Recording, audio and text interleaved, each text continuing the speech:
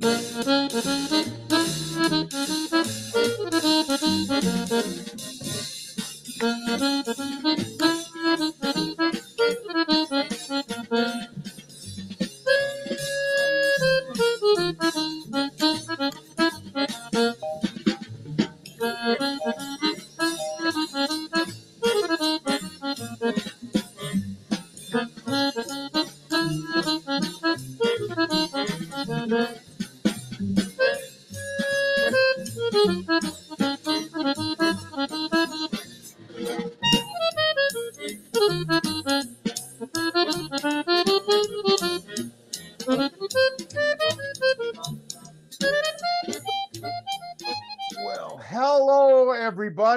Welcome again to another week of the legendary Snap No Tap podcast. I'm Tony Cecchine. And of course, the world's best looking man, Joe Cardinal. He's always here.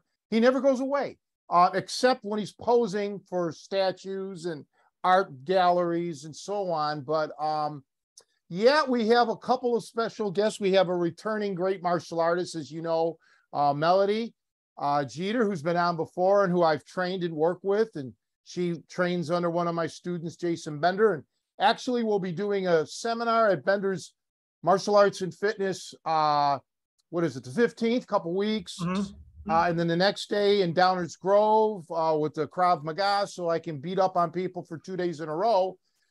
But as most of you know that have been following me for a hundred years that I've been online, I'm a my love besides fighting is jazz music, drums, but especially jazz accordion. And I, I've been lucky to study with two of the best players ever and met a lot of great guys.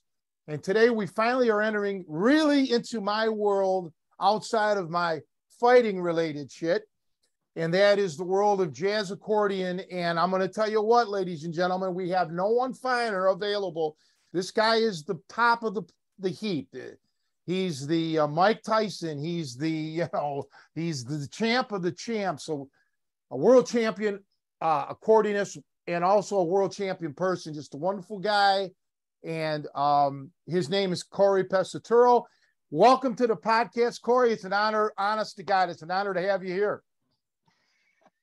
Thank you so much. Thank you so much. Especially talking Chicago. I'm trying to be the the Michael Jordan of accordion, but yeah. Uh, well, you know, In Chicago, we like to say you're the Joe Cardinal of accordion, but oh, okay then. And I'm I'm from New England, so I'll try to be the Tom Brady of accordion, but we'll go from there. oh, well, don't mention Tom. Well, you know he's got Ah. no, but Joe's a, Joe is a great interviewer, and I kind of and Melody's a musician as well. That's why we're having Melody on. She's a pianist, um, and those there's two types of people. You know, those who play piano and those who wish they could play the accordion. Um, Melody plays the piano. I mean, she can't play the accordion. I missed out. Well, you you missed out by not listening. You got to hear this guy play one of these days. Uh, he's phenomenal. I have Joe, why don't you take over? Joe, you're great with the questions, and then I can kick in with the technical shit. Okay. Well, I mean, actually, this is the time where I actually reason Melody's here is I was like, oh, oh, I better phone a friend because uh, I'm definitely out of my I'm out of my depth here. This is a world class musician. You know, when you guys so we had a, a previous phone call just kind of setting these things up, and I gotta just say how personable Cory was. I mean, here's a international superstar, and, and we're just a couple of guys running an amateur podcast here who love the accordion and love jazz, and he, and he was just so ready to go. Like, let's talk, and we talked for like I don't know what was it like, you know, probably at least an hour. We had like a separate podcast that we didn't record, yeah, but I basically let you two guys run because it was so over my head with music theory and history. I was just, I have nothing to add to this conversation, you know, except so, um, but yeah, I mean, Cory, you know, for the uninitiated. So, and I, part of it, I just want to say um, that this is exciting because Tony's always making musical references and tying it in with, you know, we're martial arts focused, but this is the first time we're, we're kind of ent- adding a new dimension to the show. We want to really just have music focused shows because so many of the people we talk to have musical interests too. Um, and obviously, you're a very niche part of the musical world. Um, with the accordion, and that's why it's so perfect. This is like you're, you're the perfect person to kick this part off for us, you know. Like, and in some ways, I'm still a little bit in shock. It's like, well, hey, we should start doing musical ones. Why don't we get the world's greatest accordionist on? Sure, right. You know? I think we'll get Barack Obama next week, and uh, you know, we'll, we'll keep you know, we just stop. We need to start asking bigger people because clearly, uh, you've set a precedent here. Where they'll say, if you don't ask, the answer is always no, right? Exactly. there you go. But I mean, just I mean, for those who you know, obviously Cory, people out there look out. He's got tons of stuff on YouTube, great videos that I've spent some time looking at. So I, I know a little bit about your background, but just start off at the beginning. You know, how did growing up? How did you get introduced into music? Were you in a musical household? Uh, you know, give us some some background. Tell us how you got into this. So my background is is very much. It sounds like a story out of the '50s, uh, and that would be that I only played because my dad played, and being in an Italian family, he asked, "Do you want to play accordion?" Uh, and I didn't want to disappoint him, so I said, "Okay." Uh, and and his background is he played when the accordion was popular, then quit when it wasn't popular because you couldn't get a date or get a gig if you played accordion by 1967 and, and that was that was the, especially by the 70s it was over so but he took it out again when i was nine and nine and a half asked if i wanted to play and i said yes um, i didn't like playing at all but i was always and i always have been a very competitive person and i sucked at sports was terrible at sports i still watch all sports religiously uh, especially being from Boston. It kind of is a religion over there. Uh, but I'm a huge racing guy. I can talk Formula One and MotoGP more than I can talk music. But I was never good at sports. And when I realized within a couple weeks, ooh, I'm good at this music thing. I so I went into music specifically for competitive reasons. And that didn't change through when I won the national championship when I was 15 years old. I still mainly did it because I was good at it and I realized I could have a career at it. Um, and it wasn't until I found jazz at 17, 17 and a half years old that I finally said, Ooh, I'm liking this music thing now because I always improvised, but I always got in trouble for improvising, huh. right? Your teacher's like, you can't do that. No, it's not the music. So I always improvise. Then I found jazz and I'm like, wait a minute. You're supposed to improvise. And I actually learned jazz on the clarinet before I learned it on accordion because my clarinet teacher in Rhode Island was the best jazz clarinetist in, in the region. And if I had a good lesson, he would pull out the real book and I would be allowed to play a jazz tune at the end of my lesson. So I actually started playing jazz on clarinet before I played on accordion. And then when I went to New England Conservatory and I got in there really just because I was able to play different styles of music, I, I didn't play jazz yet that's when I really started divulging into jazz because all the jazz students at NEC were some of the best jazz cats in the world. So I was so far behind, but I had that, you know, I had that upbringing where I was able to be around them 24 seven and constantly learn. And who's that name? And whether we were at lunch, at dinner, hanging out, walking somewhere at a party, I was constantly asking questions. Who is Bill Evans? You know, what, who is Art Tatum? Who are these people? And, and I was able to learn it from there. So I didn't really love music until I found jazz. I liked it, but I didn't love it um, and that and that's kind of that that's kind of the, the chapter one and two and three or so of, of my accordion upbringing. That's really well, you know. Let me let me add in here that um, uh, the people that are following this, Cory had briefly mentioned, and I want him to delve into this. He said something until he won the national championship. Well, what what a lot of people don't know, like in the fighting game, you know, we have our state, you know, local, state, regionals, nationals, internationals, world championships. You have it in music um, in, in, in various instruments, but we have it in the accordion. Now, Cory um, entered for classical. Let's talk about that national uh, title first, and then we can work our way up to how you ended up winning world titles in, in digital and jazz. Well, see, uh, like you said, and you know this, in the accord, the accordion world is uh, always very tied to the competitions, as the piano is, the violin is, the cello is. Really, all of them are. Um, but I, of course, you do classical. That's what you have to do. So when I won that national championship, I think I played uh, Concertstück by von Weber. I played uh, Tchaikovsky piano concerto, or I might have played actually the violin concerto. I did both at different times, and you know, very strict and very difficult kind of classical music that that we put on accordion. Accordionists love Tchaikovsky. We're always transcribing Tchaikovsky and putting it on, on accordion. That's that's a very big thing. Um, and I went to the World Championships because when you win the national, of course, then you can go to the Worlds. I knew uh, at 15, I was going to get absolutely decimated. And I was fine with that. I just wanted to go and see how well do people in Russia and China and Eastern Europe play the accordion. And it was certainly eye opening for me because it was, you know, it's just, it's completely different level. Um, but that was never my goal. My goal was to win the national championship and then go off and learn all genres of music and become the most versatile accordionist I could be. And that's what I really did at, at NEC. But yeah, it was very much uh, all classically based. And, and you couldn't improvise, of course. that would be that would be illegal. Um, but that I retired. I'm I'm really the Brett Favre of accordion. I've retired like four times. So that was my first time in retiring. I said, okay, I'm done. I did my goal. Now let me go off and learn as much music as I can so I can go out and play lots of gigs. Uh, so I don't know where you want to go from there and, and uh, to the worlds, of course.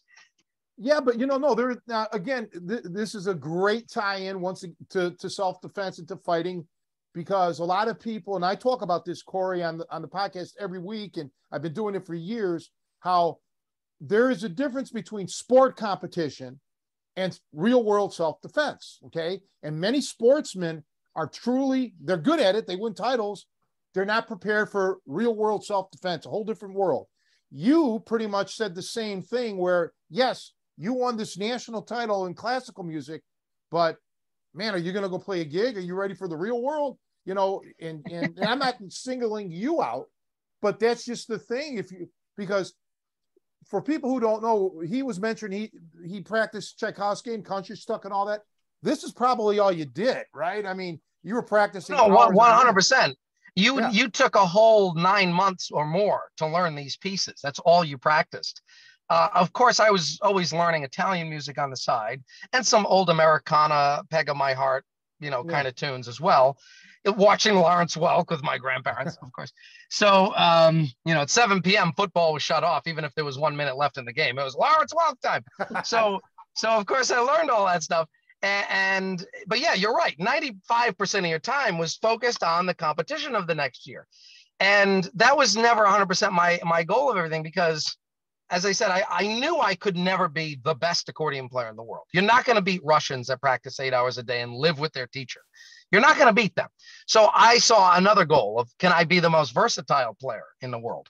Um, and and be a great improviser. That was always uh, kind of my my push.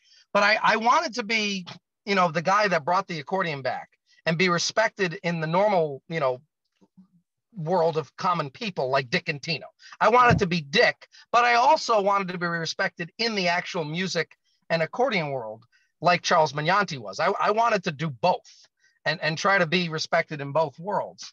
Uh, and that was kind of the goal. But when you when you go towards, so, I mean, I never thought of that, that there is a tie-in of maybe guys that are amazing at boxing if you went to fight them on the street, you'd actually be able to beat them because they aren't good at street fighting right. compared to the difference of actually being in the ring. It's it is totally different skills. In the same way, I attack classical musicians all the time because they they if you just say at the end of the tune at the last two measures we just go up a whole step or can we just change the end to where you just do a fermata they can't do it they yeah. can't they, they don't know what key they're in they're and, and I don't blame them. I blame the teaching of classical music that they don't teach music theory and they don't teach all these other things. The skills you actually need to jump on stage, as I just did 10 minutes ago, playing the national anthem, uh, the Italian national anthem with a soprano. We've never met. We had five minutes because I just got here in time. And she wanted to do it in a key I've never played it in. It's my job to be able to know a song and change key without practice.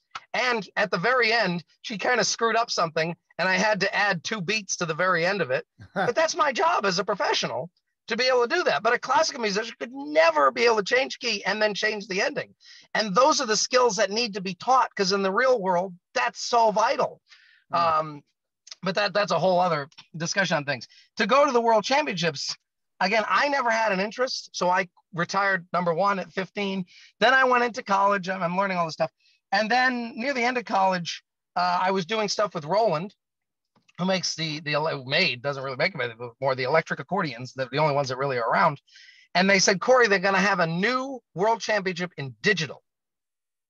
This is more your style because it's not about who plays the best; it's who uses the accordion the best, which of course would mean you have to be versatile. If you're going to show off all the sounds in the electric accordion, you have to be versatile, and that's more up my wheelhouse. I was still like, yeah, but I'm not interested in doing these. But with these judges that decide, oh, I, his playing was better, and they said, well, it's going to be in New Zealand, and I went, oh, sign me up, I'm in.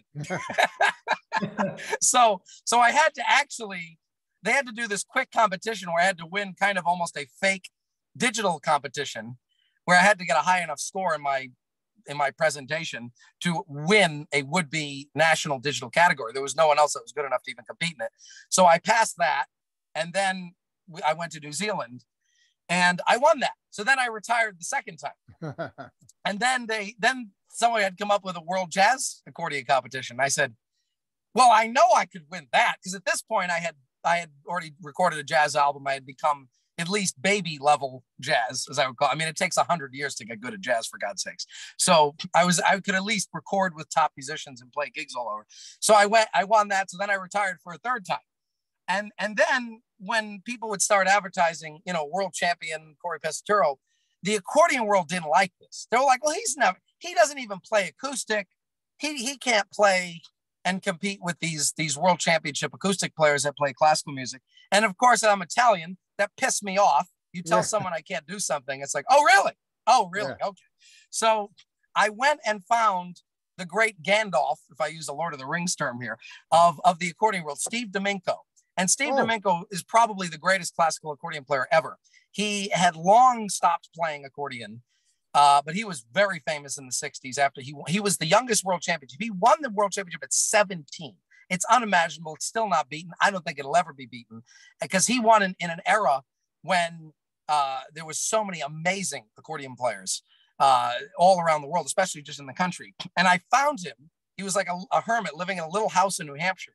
And I would go up to him every month or two and learn everything I could from him. And I entered the Acoustic World Championship in Finland, where they have it on national TV. It's like, you know, tonight, American Idol, and at 9 p.m. on Fox, the World Accordion Championships. That would never happen in America. But in Finland, the accordion's huge. So they have it there. They had eight contestants every year, national champions of their country. They had never once had an American because there wasn't anybody good enough. So I went there and I won that because it was you get a band so I said, wait a minute, I, I wrote out the arrangements. No one had done that. So I wrote out all the arrangements of the band. I made it versatile and I made it jazz based because it was different rounds. The first round I did jazz, the second round I did all different music from around the world. We did. So um, I made a mix and, and that's all on YouTube. That whole competition, you can see it on YouTube. Um, and I and I won that. So then I retired for the fourth time. I have stayed retired since then. Now I have judged world championships, so I obviously can't compete anymore. But that's kind of how the world championships came about. They were all just random events that happened. I wasn't. That was never the aim on any of three of those. It was other people came to me and said, you know, this exists. You know, this exists. The third one was was oh Cory can't win that. I was like, oh really? Mm. Okay. So and I don't really play acoustic. I, I, I rarely do, but I, I can still say I have a world championship in acoustic. So it's like I can't play it. That, you know, it's again phenomenal. This Stephen Dominko that he's talking about um, was so good. Sometime in the late '60s, the the legendary Elmer Bernstein put on a concert where he had the something like the Youth of America. Now, people need to look up Bernstein. Uh, it wasn't Elmer Bernstein. I'm sorry, it was Leonard Bernstein. Elmer was a uh, he did uh, Hollywood stuff, but Leonard was the king of the kings, and Stephen Dominko was part of this. He performed, he soloed for an accordion to be accepted. Know, what, what's that? You're breaking up, Cory. We can't we can't hear you. Uh, testing, testing, testing. Yeah. Yeah, we're back. Okay. No, I, I said when I said Steve Dominko, you actually knew who I was talking about. Hey, you're talking to an Italian over here, huh? Come on. You knew well, I was talking. Very good. Of course. Well, this this is for the people that are watching that don't know this world. Cory, he seeked out, you know, a legend in our in, in the classical world of accordion. I'm a jazz player. I'm not part of the classical world, but of course I know all the great or knew all, all the greats. Stephen Dominko ranks at the top. There was a few. Um, another one named William Cosby, you know, Bill Cosby, but not the Bill Cosby. Right. So I, I became very good friends with Bill Cosby for the last 10 years of his life because he was playing as well as he'd ever played. Uh, he went to West Point. I mean, he had an amazing career, an amazing life, but he died of cancer. So sad. But him and him and Steve Dominko were close buddies. They were both, you know, same level of ridiculous ability.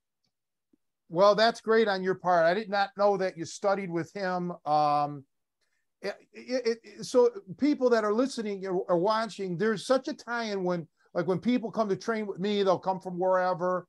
They're making their search. Cory made his search.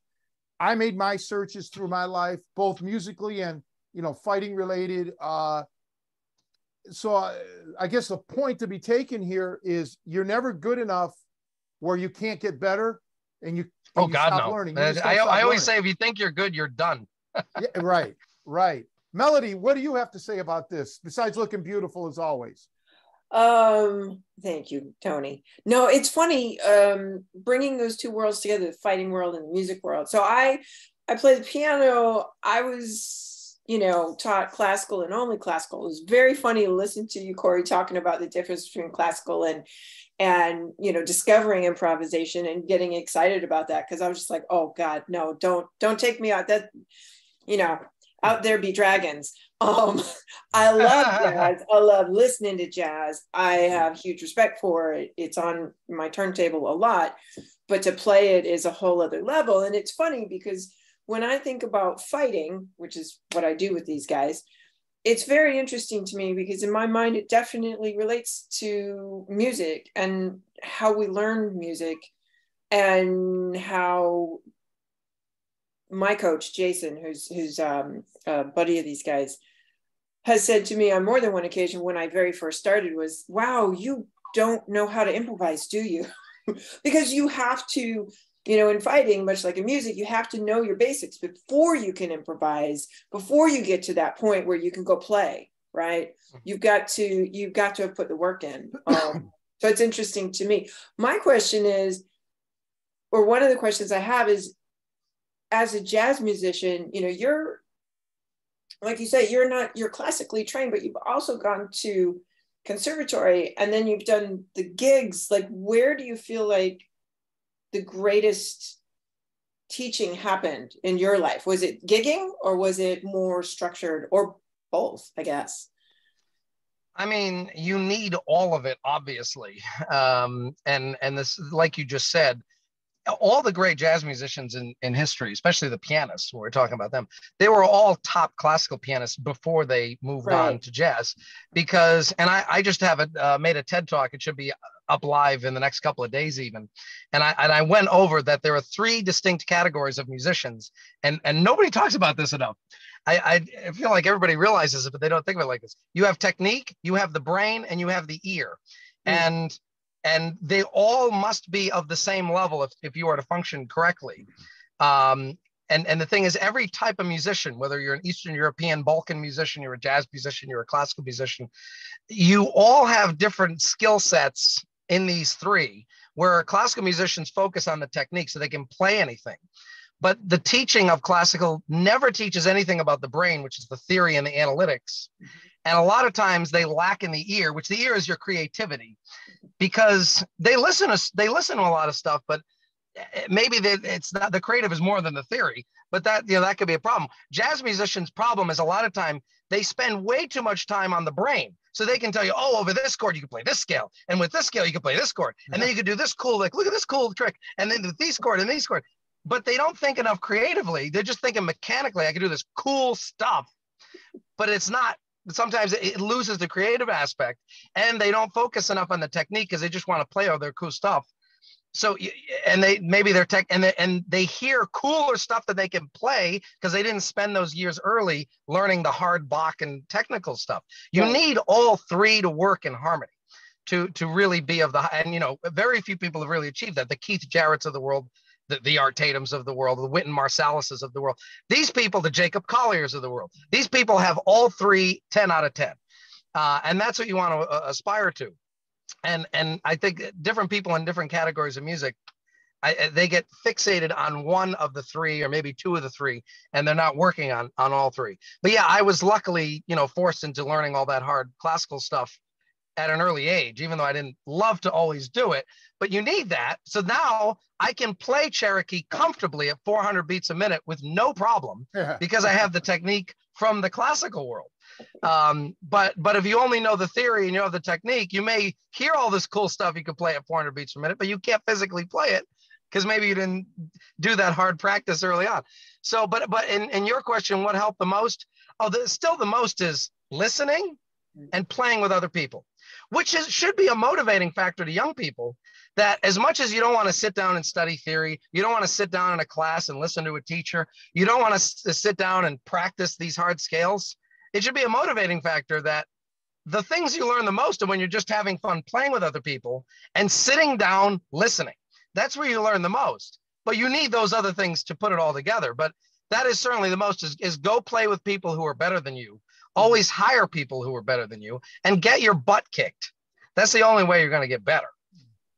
That's the same for fighting, right, guys? Yeah. Tony? Oh yeah, it's oh, got to be. It has to be. Yeah. Well, yeah. I got a I got a message for Cory. So uh, I'm I, it's on my phone. I don't want to screw the guy's name up. But anyway, I just become internet friends with a guy named. Well, I'm going to get his name is Tom, but let's get all the last names right here. Tom Fiella. But this ties you in, Cory, because Tom Fiella went to school with a guy that played bass with you, named Marty Ballou or Baloo? Marty Ballou is one of the best bass players in New England. He is one of the best. Very good go. friend of mine. Yeah. Well, I'm saying a shout out to Tom. I I've been working with him a little bit, just t- t- showing him some jazz theory. He's uh, you know, he doesn't play jazz yet, but he's going to be a jazz so watch out, Cory. Uh, he's coming for you. But no, but yeah, when he said, "Oh, I know my my friend played bass," I said, "Well, I'm going to mention it on the uh, on the podcast." Which is an interesting thing because I went to hear the legendary Frank D'Rone, who passed away sadly, phenomenal monster guitarist and vocalist. Um, matter of fact, Frank Sinatra once said that um, Frank D'Rone was the best singer he ever heard. But when I went to talk to Frank D'Rone, I think we lost Cory, and this sucks because this ties into Cory. Um, Frank was shocked that I understood jazz as a drummer. I said, Well, I was an accordion player. I studied jazz accordion. And come to find out, Frank D'Rone went and performed the high school, what do you call it, talent show with with the legendary Angelo DiPippo. And Cory, you know Angelo, I knew Angelo. I mean, there's a guy who can play classical. Well, when he was in his, you know, peak, classical and jazz, man, unbelievable. Angelo, Angelo's technique is so good that I can hear two notes, just two, but up, and I know it's, it's Angelo's playing. It's like I call him the machine gun. He sounds like a machine gun. His technique is ridiculous. Yeah, well, um, it. I, I, knew a guy from Chicago. He passed away. Lindy Ko. I'll make this sto- story real, real short. Lindy kind of pulled the rug out from under Angelo and bought this bell accordion that Angelo wanted to buy, but uh, uh, Lindy went to New York and picked it up and goes to Angelo's house, you know, to show off the accordion. And now, Lindy, by the way, was a sensational musician, trumpeter, accordionist, did was a WGN studio musician back in the day, did correspondence courses with the Berklee College, uh, Berklee School of Music. He knew everything. And he said, Angelo was just doing some scales. And I said to Lindy, what scales was he doing? He's like, I don't know. They were too fast. exactly what he said. I don't know. They were too fast. Yeah. That's how much no. technique Angelo DiPippo has. Oh yeah, eh, eh, r- ridiculous. I mean, and he uh, his perpetual motion, which is like you know the the five minute song of nonstop eighth notes. You know, just perfect, zero mistakes, and I know he did it without overdubbing it. I mean, that's just that's just Angelo. Um, so, and he was from my home state of Rhode Island, because his father had a music store on Federal Hill where all the Italians still are, way back in the 30s and 40s. Well, this guy, Tom Fiella, he's originally from uh, Providence, Rhode Island, or Rhode Island. I shouldn't say Providence. So yeah, there's like these tie-ins. But you know, when when I mentioned that you were going to be on the podcast, he's like, "Oh yeah, my friend played with him." You know, uh, it it really is a small world. But I played again, with Marty many times, many many times. Yeah, see, I'm not familiar with him because you know I, I haven't been out east in a long time, but I, I might be going to New Hampshire um next year sometime. So if you're around, you know, New Hampshire's small, I can drive up to Rhode Island or wherever you're at. Um, but you know, the thing is, there is some. I try to tell people the similarities between fighting. For me, I started fighting before I started music, but once I got into the jazz, it just enhanced my fighting because learning how to improvise and like Cory said, with the ear and how to think and putting it all together and the tie-in with the technique. That's what your fight training is all about. You've got to learn your basic fundamentals, your stance, your footwork, your movement. Quit trying to learn all these flashy, fancy submissions. You're not going to be able to pull them off because you don't have the foundation. But once you have that foundation, learning other stuff is just a matter of being exposed to it, letting it sink in, and making that mind body connection. That's what jazz guys do. I mean, uh, you know, you've done it, Cory. You've gigged. I used to gig through the years, especially on the drums with a lot of guys. You, you pick up shit just from listening to the other cats in the band. Mm-hmm. Absolutely. That's still the best way to learn is, uh, you know, playing with people. And then I, of course, today it's so easy with YouTube in that you can slow down anything. Um, and I and I felt once a lot of stuff got on YouTube by 2009, 10, 11, I said, you're going to start seeing really good jazz musicians by 16, 17, where before, you know, really it'd be amazing if you saw great jazz musicians by 20, 21, 22. That was amazing. I yeah. said, now with YouTube, you're going to start seeing it at 16, 17, maybe even 15. And that's happening now. I'm seeing a lot of that because you can you can learn you know it's it there's always a thing you see the five year old asian kid play mozart perfectly. And as amazing as it is you if you get some real savant kid you can always teach them here's the notes here's how to play it and you're going to get that. But to play jazz at 10 or 11 12 that's like that's a whole other thing. Uh, and and you're seeing that a little bit more. And and i think it's because of again with youtube and so much on there and you can slow it down and transcribe it and you got your keyboard right there and you can play it.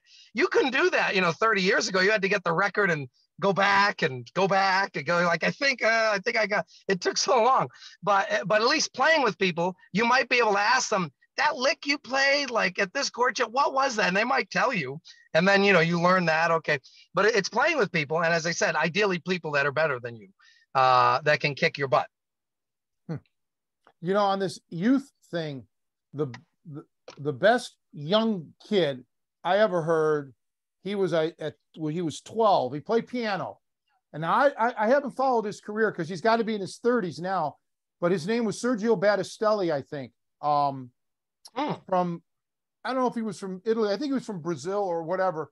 But he was playing like really pretty damn good jazz on the piano at 12. And like like you said, Cory, that blew my mind because that's rare to have that kind of maturity on you know, for jazz.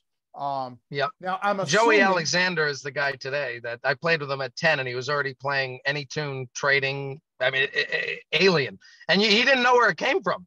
Maybe who, he said, well, how this? do you know how to do this? Joey Alexander. Oh, no, I never, I haven't heard of him. Oh, you got to check him out.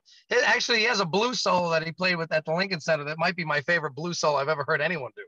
Uh, and he just, he doesn't know where it came from.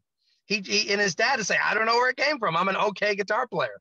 Uh, some people are just blessed with these crazy abilities. Um, but but you're you're definitely seeing like people that don't have all like I have a great ear, but I don't have the tape recording ability. I don't have perfect pitch. There's other born with abilities I don't have, but you know, with a great ear you can do something. But you're seeing that at a lower and lower level, a lower lower age, where people are getting to these crazy good levels uh, that didn't seem possible 10 years ago, 20 years ago. Um, but I, I can't believe the tie-ins, just listening to you guys talk about boxing and martial arts, that there are so many tie-ins from being a musician and accordion player to boxing. I never thought there'd be this many tie-ins. Well, well I would say, Tony, don't you agree that just everything we was talking about, the people getting younger and younger and having access to so much can get them to a higher level of mus- uh, musicianship faster. We see the same in in fighting, you know, or at least within the sport world of fighting, which I know Tony frowns upon a little bit, but it's true. We're, we're seeing younger and younger world champions because they have access. I, th- I think because they have access to more and more, you know, information. They have the internet and they have access to all the greatest teachers ever with a single click and it's it's kind of cool um, it can also completely derail you if you don't have a good coach you know if you don't have someone who's in your world, helping Yeah. you figure out what path to take when you're young, I think. But by the same token, you know, I can take a you know personal lesson if you will with almost with some of the greatest coaches coaching today by just jumping onto youtube which is kind of cool Well, as long as you're following the right guy, there's a lot of junk on YouTube too. There just is. like there's horrible sure. musicians on YouTube. You Yeah. know, but I got to I'm tell you on this. YouTube. Huh? Well, All the- now, now, without getting too personal, because I don't want you know anything to make you uncomfortable, but w- would you mind sharing what what inspires you? Because people always will say, "Well, you know, the guy's Cory's so great, it's you know, it's a joke to him." But you've got to be inspired. Something's motivating you still. I mean, uh, there the it's funny because I always say, you know, in the accordion world is one thing, but as a musician, it's so easy to stay humble because all you need to do is hear one solo by Keith Jarrett or one track of Art Tatum or or you know one arrangement by Jacob Collier and you're like I suck you know? It's so easy to stay humble as a musician. Um, so it's always funny when I see different people that get you know that have this ego about things. Um, and it just like I don't know how you could possibly have an ego as a musician. I can see being you know cocky and ego are very different. I can see being cocky about if, if you feel you're really good and someone's like oh I think that guy's better. I can see you standing up for yourself but having truly having an ego it's like there's you know uh, there's so many ridiculously good musicians out there that all you have to do is go on youtube for five minutes and be like wow i am terrible you know? It's it's so easy. So um and, and especially like another thing the internet has opened up for the accordion world is the eastern european balkan world. Most of the best accordionists in the world are from bulgaria macedonia uh, Moldova, Romania, Hungary, the, all, all these Serbia, all these areas. And before the internet, we had no idea they existed. We had no idea. Hmm. And they're the best. I'm sorry, they're absolutely the best because they're almost as good as the Russians on classical technique, but they can play anything in any meter and improvise. And they put ornaments. It's like, so it's great that the internet has opened that up. And it makes you realize you're like, I'm close to the top of the mountain. Say, oh crap, the mountain's up here. Ah, you know so it's it's there's always a higher you know mountain to go to so um and it's the same not to bring up tom brady but after every single game no matter how good he is he'll talk about where he sucked and where he can improve on and oh this throw is terrible and i missed this guy you could always get better and, and for me, probably the, the highest inspiration would be Art Tatum. I think he, if I had to pick the greatest musician of all time, I'd pick him uh, in terms of where he was in comparison to where music was and how far ahead of where he was. In the same way, in the car world, we see the McLaren F1 as maybe the greatest car of all time because of where technology was and where the McLaren was when it came out in 1992, and the gap was just that big. So, you know, this uh, you can always get inspired. It's so easy. It's like if you're not getting inspired, then you might need to check your ego. That's very well put. Yeah, uh, yeah. Art Tatum, the, the, the and the true story of of Oscar Peterson being, I mean, a, a legendary. Oh my God! Well, yeah, you've seen Yeah. that interview, yeah. I mean, he was my favorite growing up, Oscar Peterson, because he did it all. Block chords, Yeah. everything. He could he could do anything. Yep. But when Yeah. you know, oh, I, I quit. I cried when I heard friggin' uh, Yeah, Art Tatum. It's he, you know that's the truth because it's something similar happened to me. Not that I was as good as Oscar Peterson, but when I was like 13, all right, I gotta tell you this. So I was raised basically worshiping Gene Krupa as a drummer. Okay. Oh, Gene Mhm. Krupa's the greatest drummer. I was a Gene Krupa fanatic. So um, I was 13 years old or 14 and no 13, and Buddy Rich came to Cleveland. That's where I was born and raised. I, I knew you were going to say Buddy Rich. Oh yeah. So I went with this kid, Nick, and his mother and my grandfather. We went downtown. We got to see Buddy Rich, and I literally, during the thing, I started crying. When I got home, I got rid of all my Gene Krupa albums. I said, forget it. Buddy is now un, unapproachable, man. So Buddy, I had a Buddy Rich like a like Oscar Peterson had that thing with uh, Art Tatum. I had my Buddy Rich moment where I'm like, it can't be done this can't be done. I just saw the guy do it, but it can't be done. It's a trick. He's too good. So Cory's talking about these Bulgarians in Eastern Bloc, and believe me, I've seen them on uh, YouTube as well. they're remarkable, almost to the point where it becomes you get dis disenfranchised from it. You get detached because it's like alien to you. It's like, well, yeah, I can't, I can't go there. It's a little too much for me. I can't relate. But it's amazing what happens in a culture where they have no barely any television, not much technology, and nothing to do all day. When they just say, "Well, I, I guess I better become a really good musician," but the bar is so high because they say if you want to become a violinist, a clarinetist, or accordionist out there, you have to be or, or um, hammer dulcimer. You have to be of this level, or you aren't going to get gigs. So yeah. if they're going to go in that path, they have to go that high. Where in America, I mean, most of the famous people of the past 60 years play three, four chord music and have gotten wildly popular, whether it's Taylor Swift or Beyonce or something. It's like, you don't have to really know that much to make a hundred million dollars a year in music. But if you want to have gigs and play wedding gigs in Romania, you have to be this ridiculously good or you're not going to get hired and that's how high the bar is. And and because they were blocked off that was one of the few benefits was that they didn't see that the rest of the world's bar was here and they thought their bar was was up here. So and then when they've opened up to the world the rest of us are like oh my god i didn't know you could be that good at music.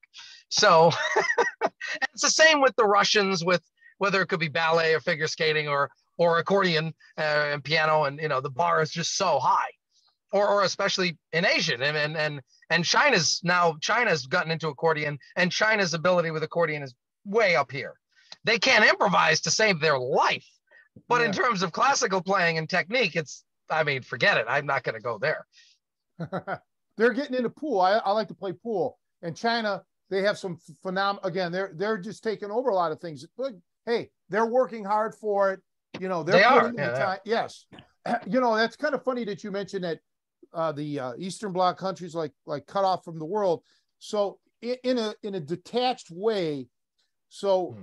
Jerry Sigler, who who became my god on on the accordion, uh, uh, and trained me in Chicago here. He's originally from Cleveland, and when he was younger, he would take a bus, a Greyhound, once a month to Chicago to study with Leon Sash. Okay. Yep. Now, for those of you who don't know, Leon was blind. So Jerry told me the first time he had a lesson with Leon, he goes, to, he gets to Leon's house, and Lee's Leon's wife, Lee Morgan, who was a wonderful lady, uh, says, "Okay, Leon's down in the basement." So Jerry walks down in the basement. It's pitch black. Okay, there's no lights on because Leon's blind, and Jerry sits down, and Leon's like, "Okay, set up your music or whatever. Let me hear you play." And Jerry's like, "Wait a minute." It's pitch black. I can't. He's thinking this.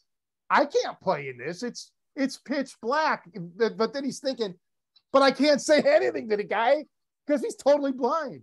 So it, it, just shows that you can't let. So in essence, uh, the Eastern Bloc countries were in a way blind to what the rest of the world was doing. So they just reached levels that they thought were where they need to be. Same with Leon and other great blind musicians. Um, well, Art Tatum wasn't totally blind, but he was blind enough. You know, George Shearing. George and, wasn't George know, Shearing. You know, just at the same time we say George right. Shearing, of course. Lennie Tristano, another Italian. Lennie you know, Tristano, yeah.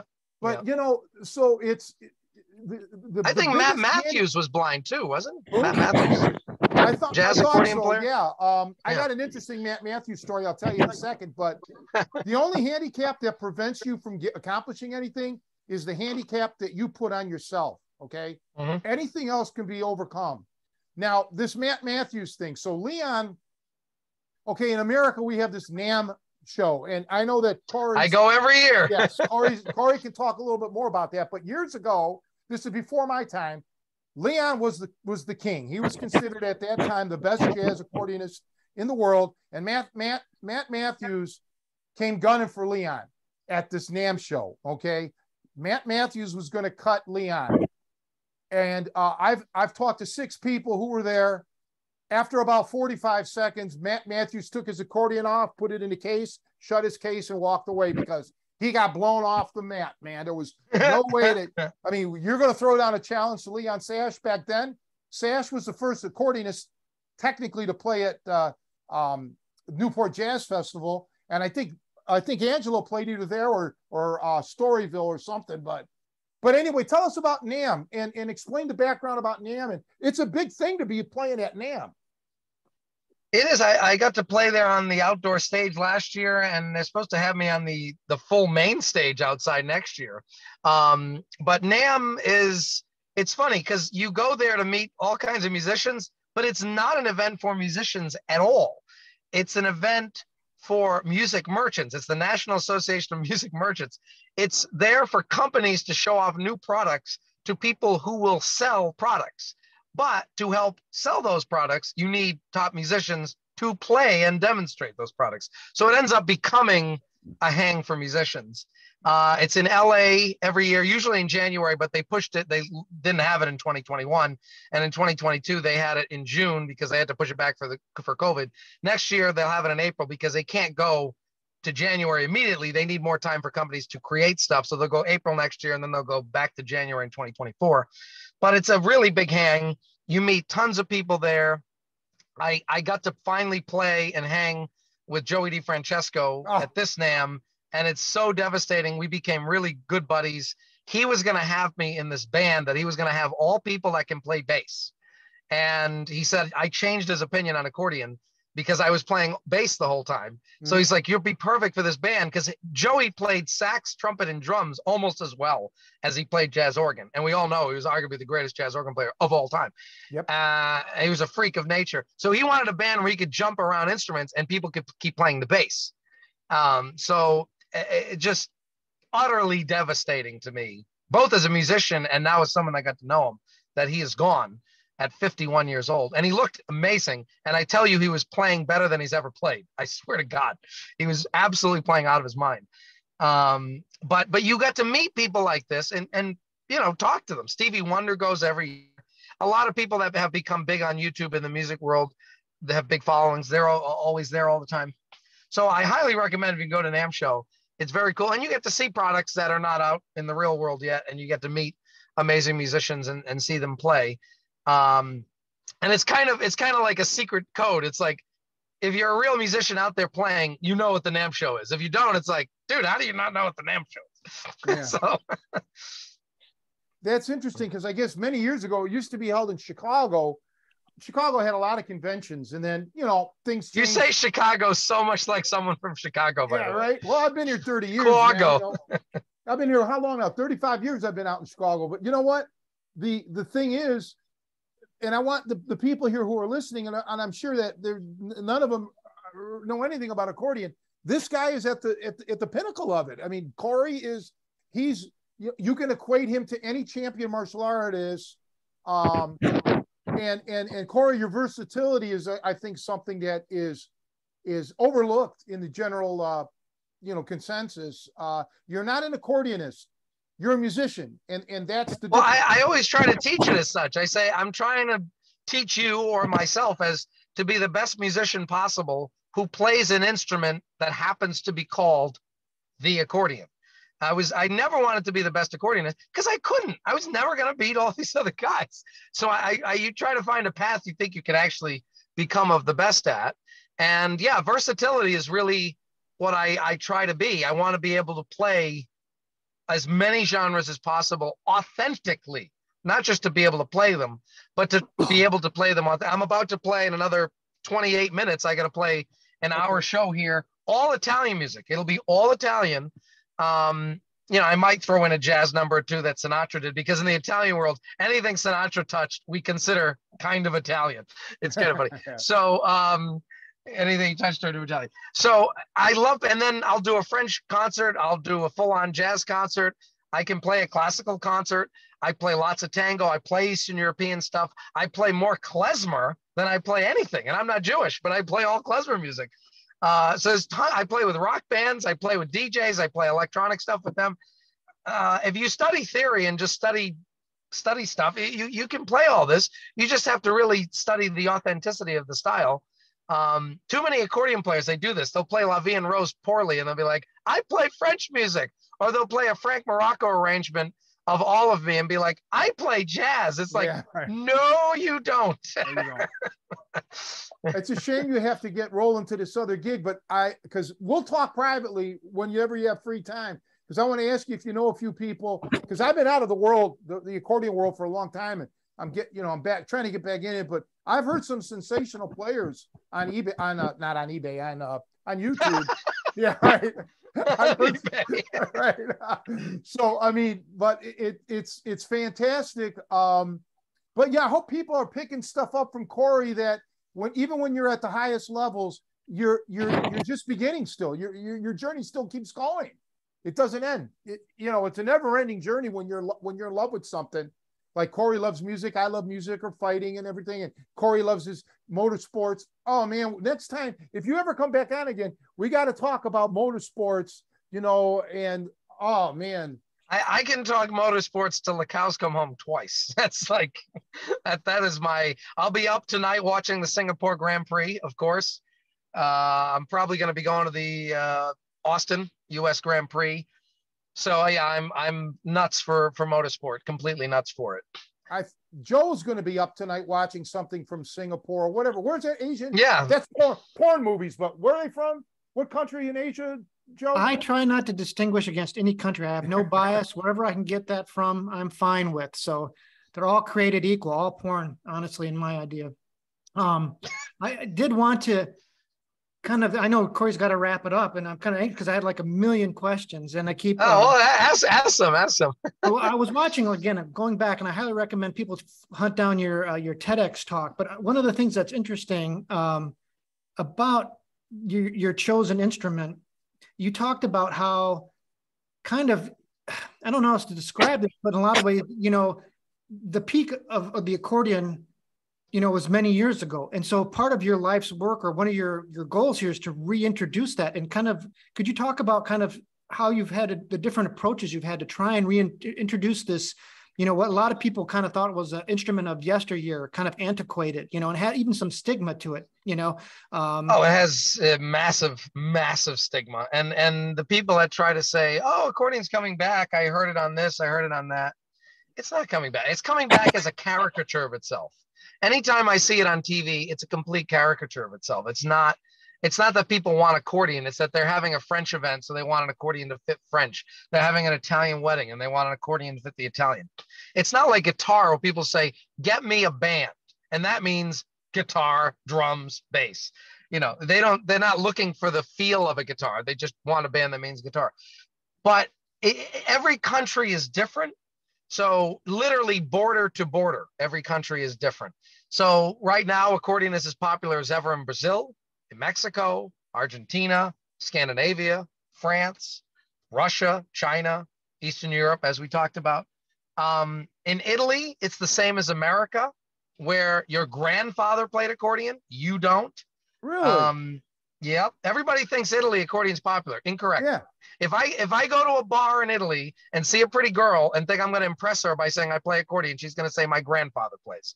it is not the case. In France, yes, not in Italy.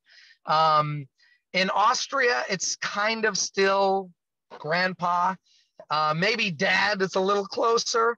Mm. Um, so every country's different. I'm trying to reintroduce it here with the electric accordion because young people do go nuts when I play all this stuff. Even though electric accordion has been around since 1959, it's just it it hasn't been seen. It just hasn't been seen. So I, that's my whole work. My whole life goal is to try to make the accordion popular in America, and it's very difficult um, because it just has that stigma to it. But you know, trying to figure all that stuff out. But that's oh god, that that could be an hour discussion on on the accordion stigma. And uh, my music will be in the new Weird Al movie. I can say that we're getting close enough, so you, oh, no I can shit. premiere it here. So if you go see the Weird Al movie, you will hear my playing in that movie. Awesome. Uh, and, I'm, and I mentioned in the credits. So that's that's very cool. Um, but but yeah, I'm trying. It's it's a quest. Let me tell you, it's a quest. Oh man, that's great to hear about. Weird. oh, cool thing, man. Yeah. Well, at least, at least you're not the bagpipes. That's what I can say as far as the accordion. Well, because the thing is, the accordion, I'm sorry, is the greatest instrument in the world. It's not even a debate. It's just yep. not. You can play 15 notes at the same time which is more than a piano or a guitar. And also, you have control of the volume at every millisecond, which the guitar and piano cannot do. It ha- oh, we lost you. No, no, no, no. I know someone's trying to go. So it is the best of both worlds. There's no, and it's portable, and it's portable. portable. So um, there's no instrument in the world like it. It's, it's. I, I actually made it because I'm a stat guy. I love graphs. I made a whole chart about this of all the details of instruments, and the accordion just comes out so far and away. But it's, it's unfortunately still laughed at a bit in America, especially the people that run the world, the people that run entertainment, run television, yeah. run TV, uh, you know, any kind of commercial segments, they still kind of laugh at the accordion, and I'm always fighting that um, and showing what the accordion can do. But it's a it's a long quest. But uh, yeah, we're gonna we're gonna have to have a part two. We talk about other stuff. Yeah, and we're going we're going to definitely do that because. Uh, but one one thing you don't have to elaborate. Just a simple yes or no answer. We can talk about this offline. Do you know Emmanuel Rastelli? I know that name. I definitely okay. know that name. All right, yeah, because yeah yeah, he was. I think he was in the World Championships. He may have won it. Rid- play ridiculous piano accordion player. Yeah. Yeah, yeah, yeah, yeah. He's incredible. Yep, yep. Yeah, I don't know anything about him, but he he had mentioned once or something about Angelo DiPippo. But you know, because anyway, but I got to tell you, this is for me. This has been the most pleasurable uh, uh, podcast because. Well, it's an honor. It's an honor. My God, are you kidding me? It's an honor for, for, for us. I mean, this I can't keep I keep talking like a kid but the, the fact of the matter is, this guy's a legend. This is somebody that I look up to in his playing. And I'm 20 years older than him or something like that, 22 years older. But it don't matter. You, you get your inspirations from wherever. And I can relate when Cory was saying, you know, like, oh, that, you know, my grandfather played that, you know, plays the accordion and stuff. I went up to a girl not too long ago, young, real pretty. She says, Oh, what's your cologne? And I told her, she says, Oh, my dad wears the same cologne. So I get it, Cory. You're not alone in the world. Okay. Even us great smellers have to suffer sometime because of the youth of today. But um, no, all kidding aside, man, we'd love to have you back on. Joe, do you have any last questions for Cory? Because I could talk to him all night long. Well, yeah, that's the trouble. Is like each category, I feel like I, I, could start off on a whole other train of like discussion. Um, I mean, because yeah, I would want to dig more into like you know we kind of glossed over. We talked about all the highlights of your career, but I'd love to dig into like, well, what does it actually take to get to that national championship? Right. What were you, what were you like, what was your life as a kid? I mean, I don't like, I don't know much time we have here, but how many hours were you putting in? What was it like? You know, what give us maybe try and give us a window into that. Maybe is the parting like topic. I, I, mean, I'm terrible with that. I literally practiced an hour a day. That's it.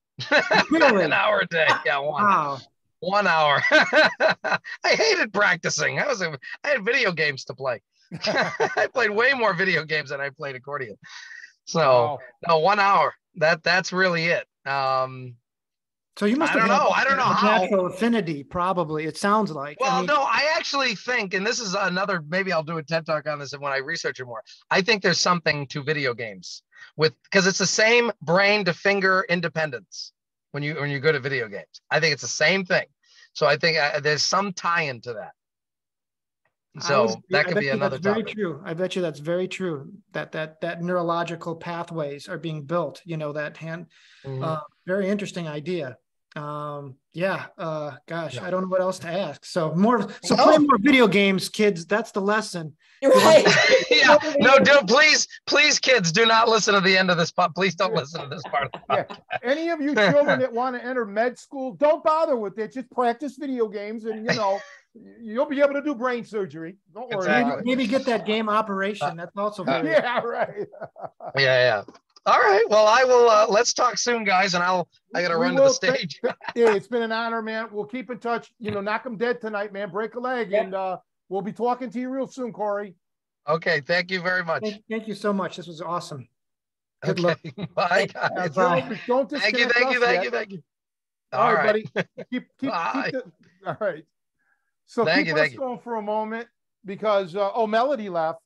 Yeah, that's just me and you now, bud. Okay, yeah. Well, she... I just wanted to kind of wrap it up uh, because a little synopsis again. This, this is interesting because I'm probably the only martial art guy, or you know what we do, self defense oriented. That that I mean, I'm not the only guy that did the music, but the the jazz and the high level jazz, and you know you can hear it from Cory. There is correlations. There are tie-ins, and and really I can't disagree with anything he said about the, the development of the brain and the thought process and and learning to improvise, putting it all together.